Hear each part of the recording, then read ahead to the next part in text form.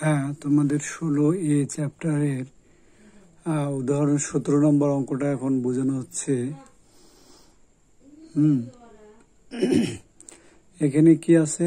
যদি কোনো ইন্টিগ্রেশনে কস স্কোয়ার এক্স বা সাইন স্কোয়ার এক্স অথবা cos square x sine square x উভয় থাকে, আবার বলতেছি যদি কোনো ইন্টিগ্রেশনে সাইন স্কোয়ার এক্স বা কস স্কোয়ার অথবা sine square x cos square উভয় থাকে, তখন ওই ইন্টিগ্রেশনের ভগ্নাংশের লব এবং হরকে, এই যে ডিএক্স হলো লব, হর হচ্ছে এটা হ্যাঁ হর এবং লবকে কস এক্স দ্বারা ভাগ করতে হয়। এই যে পাশে দেখানো আছে, দেখো, এই যে লবকে কস এক্স দ্বারা ভাগ করছি এবং হরকেও কস এক্স দ্বারা ভাগ করছি।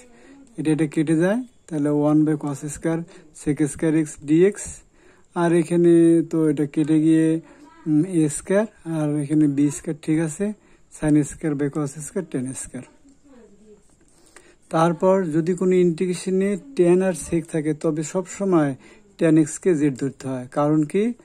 টেন এক্সকে জেড ধরলে এটাকে অন্তরীকরণ করলে সেক স্কোয়ার এক্স ডিএক্স পাওয়া যায়।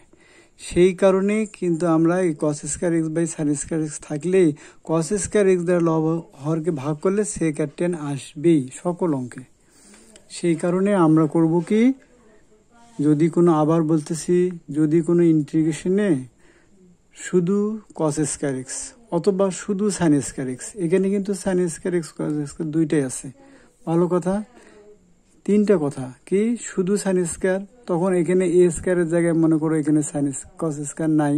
শুধু টু আছে বা ফোর আছে। ফোর প্লাস থ্রি হ্যাঁ সাইন স্কোয়ার এক্স অথবা এ এখানে four cos square x plus কি নাইন এরকম কোনো একটা সংখ্যা।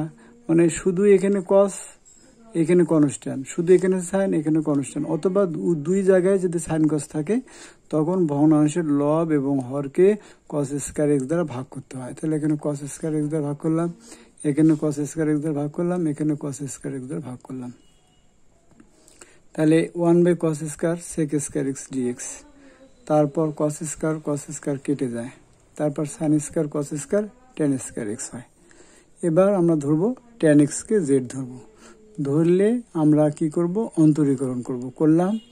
করার পরে সীমা চেঞ্জ করার নিয়ম, যেখানে ধরতে হয় সেখানে সবসময় মান বসাতে হয়। এই যে ডিএক্স এটা হলো এক্সের সীমা জিরো আর পাই বাই টু এই যে এক্সের সীমা জিরো এইখানে বসাও। টেন এক্সের জায়গায় বসাও, তাহলে টেন জিরো জিরো হয়। সেই জন্য জেডের মান জিরো এবার পাই বাই টু ইয়ে এক্স বসাও টেন পাই বাই টু মানে ইনফিনিটি সেই ইনফিনিটি হয়। তারপর এখানে লিমিট বসালাম। তারপরে এটা হলো সিক্স স্কোয়ার এক্স ডিএক্স হলো ডিজেড এ স্কোয়ার ঠিক আছে বি স্কোয়ার ঠিক আছে জেড স্কোয়ার ঠিক আছে হ্যাঁ? তারপর এই যে জেড স্কোয়ারের সঙ্গে কোনো সহগ রাখা যায় না। এখানে কি আছে? বি স্কোয়ার বি স্কোয়ার রাখা যাবে না। বি স্কোয়ার আমরা কমন নিব। কমন নিয়ে বের করলাম। কমনটা মানে ভাগ করা। সেই জন্য এখানে ভাগ হয়ে গেছে নাই সেই জন্য ভাগ হয়ে গেছে। আর এইটার সূত্র হলো কি? A square integration d x by a square plus x square one by a tan inverse six by a one by a tan inverse six by a বসলাম, এবার আপার লিমিটটা এখানে গিয়ে বসাও। ইনফিনিটির সাথে কোনো কিছু ভাগ করলে, গুণ করলে, যোগ করলে, বিয়োগ করলে সবসময় ইনফিনিটি হবে। সেই কারণে ইনফিনিটি এবার টেন জিরো বসাও টেন জিরো জিরো এখন এটা পাইলাম, এটা তো উপরে গেলে এটা ঠিক আছে। হ্যাঁ এখন এই যে ইনফিনিটি মানে tan pi by two tan inverse tan কেটে যায়, তাহলে পাই টু এ বি এটা রেজাল্ট আমার মনে হয় সবাই এটা বুঝতে পারছি। যদি বুঝতে না পারো ক্লাসে আবার বলিও। এবার তেইশ নম্বর অঙ্ক, উদাহরণ তেইশ নম্বর অঙ্ক।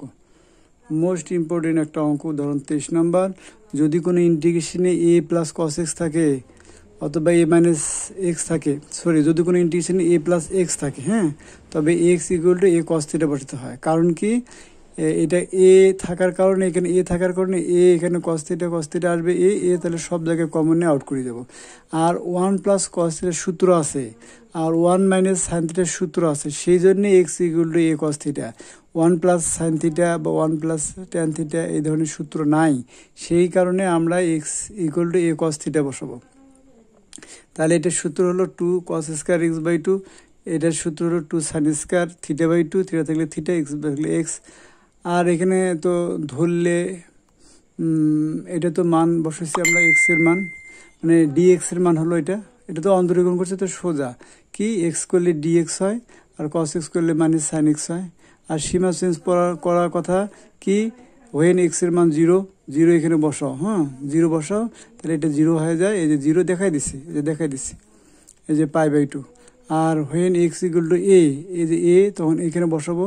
যে এখানে বসাচ্ছি দুই দিকে এ কেটে যায় কেটে গিয়ে ওয়ান মানে cos zero theta equal zero তারপর এদিকে সূত্র হ্যাঁ এটা তো কেটে যায়, এইটা, এটার সূত্র কিন্তু এটা two cos square theta by two সূত্র হলো ওয়ান প্লাস কস থিটা আর ওয়ানকে করলে থিটা হয় সাইন থিটাকে কস থিটা করলে সাইন থিটা আপার লিমিট বসো লোয়ার লিমিট বসো, এটা রেজাল্ট বুঝতে পারলাম?